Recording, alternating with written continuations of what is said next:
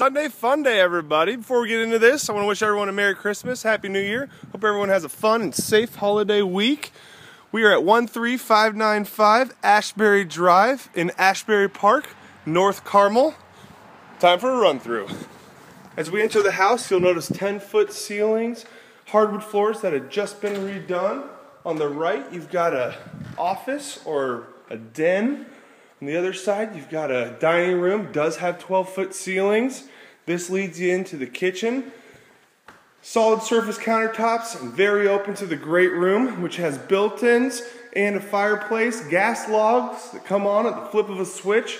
Here's your sunroom, does face east so that you can get some morning light in there. Master is on the main, tray ceilings.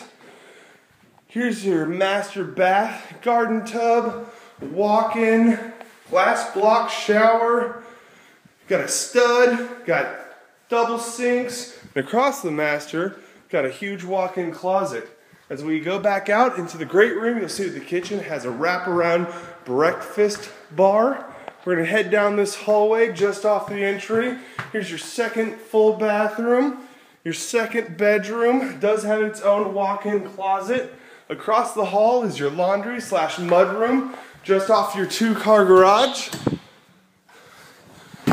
folding table, and utility closet. We're gonna go back out into the hall and head down and make a U-turn.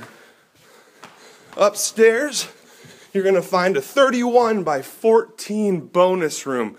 Huge space. On the other side, you've got your third bedroom, which has its own full bathroom. Between the two, here's the mystery door, walk-in attic space.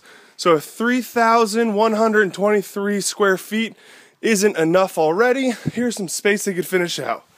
Guys, it's a great house. Great part of the city. It's by a little cool restaurant called Mudbugs Cajun Cafe. I'll give you directions. Give me a call. 317 341 1070. Again, 317 341 1070. Gavin Frost.